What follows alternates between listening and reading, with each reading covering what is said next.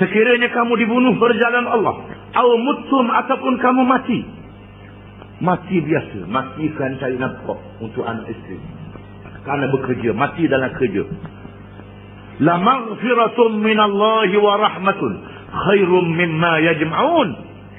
Keampunan daripada Allah dan rahmat. Lebih baik daripada harta yang kamu kumpulkan. Jangan takut kematian kerana nak cari makan. Nak buah anak isteri.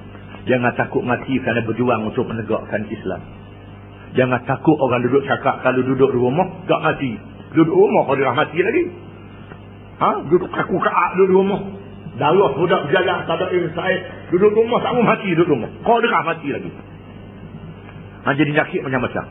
Allah Ta'ala mengatakan, kalau kamu mati dibunuh, ataupun kalau mati tak dibunuh pun.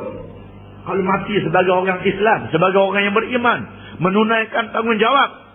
Lam aghfiratun minallah keampunan daripada Allah wa rahmah dan rahmat khairum mimma yajma'un. Lebih baik daripada perolehan harta benda yang kamu kumpulkan. Ini janji daripada Allah Ta'ala.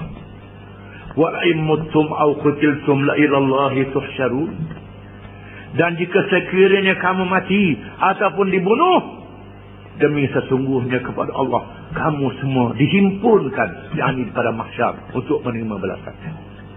Tak kira mati di mana semua dihimpun pada mahsyar berlaku sama ada mati dalam rumah mati di istana mati tengah jalan mati dalam laut mati di daratan di bukit bukau semua mereka yang mati itu akan dihimpunkan pada mahsyar. Sama saja.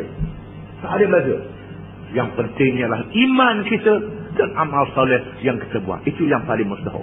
Oleh kerana itu, betulkan iman kita. Dan betulkan amalan kita. Sama ada amalan dunia atau amal akhirat, hendaklah mengikut syariat Allah.